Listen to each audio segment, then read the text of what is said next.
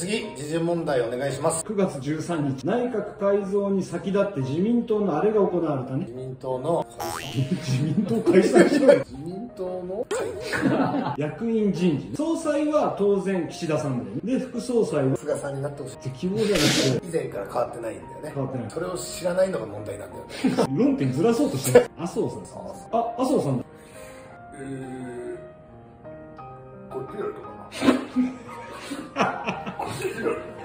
気を取り直し。幹事長も変わらずで、あの、も、も、茂木さん。そうそうそう、はい茂木敏光。選挙対策委員長は女性のあの方になって。高島さ存じ上げる。ん。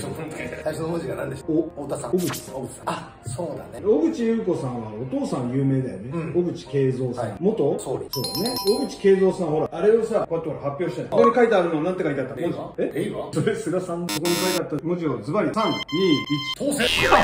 平成。